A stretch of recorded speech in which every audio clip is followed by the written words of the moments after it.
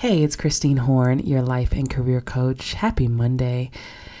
No matter what day you're catching this, if you're listening to a replay of this 10 years from now, I want to just send you some good energy on this morning. You know, I woke up today and I had been thinking about for weeks about coming back to this podcast and picking up where I left off. I have so much to share with you and so many stories to tell and lessons that I've learned that I want to share with you. And, you know, sometimes we just need the space and the time to live life. um, but this podcast was always on my mind, and I'm so grateful that I, I have some some time now to come back and really dive in. And as I woke up this morning, it's very overcast. Uh, I wanted to sleep in, but I couldn't. Um, it's just one of those mornings I just, Mondays, I get excited about. And I know there's some of you out there who don't get excited about Mondays. Maybe it's because you're going to a job you don't like, or you're just not feeling it, or maybe it's dreary outside. So I decided I wanted to start giving you some encouragement um, and just to share a passage of things that I'm thinking about. So at the top of every week, I like to have a focus for the week. And I decided to share it with you today. And maybe it will help you. So, what I'm sharing today is from Marianne Williamson's classic book, A Return to Love. I talk about it all the time. And I literally just opened the page.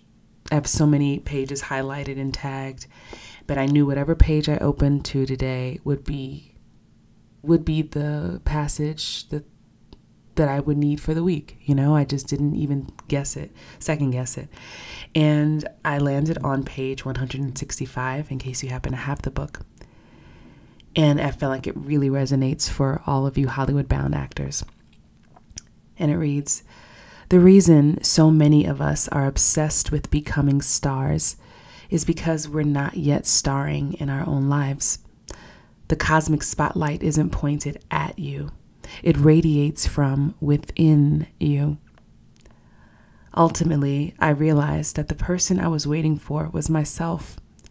If we wait for the world's permission to shine, we will never receive it.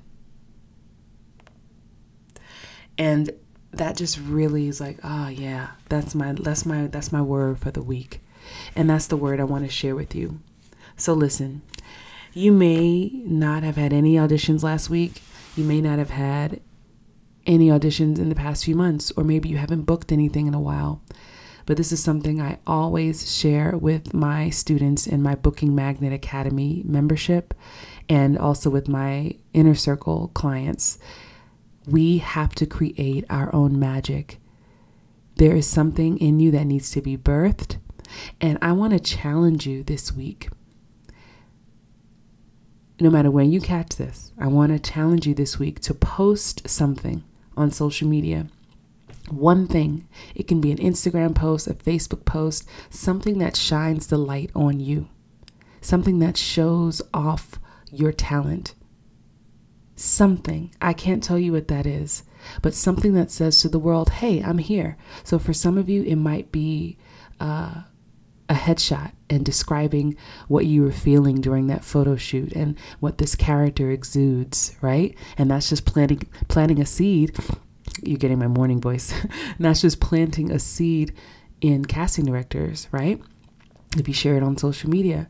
Maybe for some of you it's a short video, just, you know, wishing people well for the week, like something similar to this, just getting a chance to showcase who you are, showcase your personality. You know, I think as actors, we get so caught up in looking for the next job that we forget to just show the world that we are human, just like other directors and casting directors and producers and writers. We're all human. So, how about we decide to connect with more humans this week on a cosmic level, you know, from a loving place, not from a needy place? Marianne also talks about in this book that we either operate out of love or fear. There's that's it, one or the other. So I choose this week personally to continue to act out of love. I want you to join me. I want you to shine, shine the light on you, and shine the light on others.